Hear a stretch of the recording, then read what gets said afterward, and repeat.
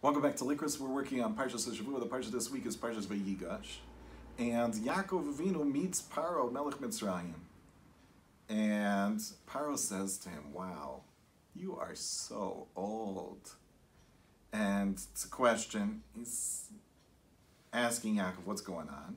And Yaakov answers him, V'lo isigos yemei shnei chaye avosai b'mei migurehem. My life till now, I'm not as old as my fathers were when they were dwelling, Megurehem, when they were dwelling in Canaan, Eretz Canaan. So we're going to try to understand that answer that Yaakov Avinu tells Paro with the Rebbe, the Yismach Moshe. So first step is he adds a pasuk. There's a pasuk in Mishlei that says, Yiras Hashem Tosev Yomim. If a person has year of Hashem, he has extra days.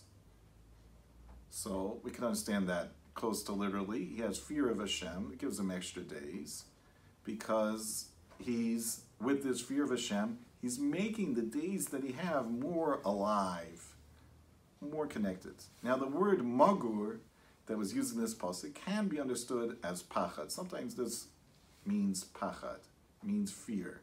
So then if we learn it that way, he's saying that my life has not reached the life of my fathers in Biyamei Gurehem in the days of their fear of Hashem.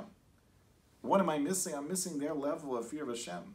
Their level of fear of Hashem that they had in their days that helped them out. And I, by missing it, Yaakov being less, therefore I look so old even at a younger age because I'm missing out on that year. I'm missing out that fear of Hashem. I'm missing out that connection, spirituality on the level that my fathers had.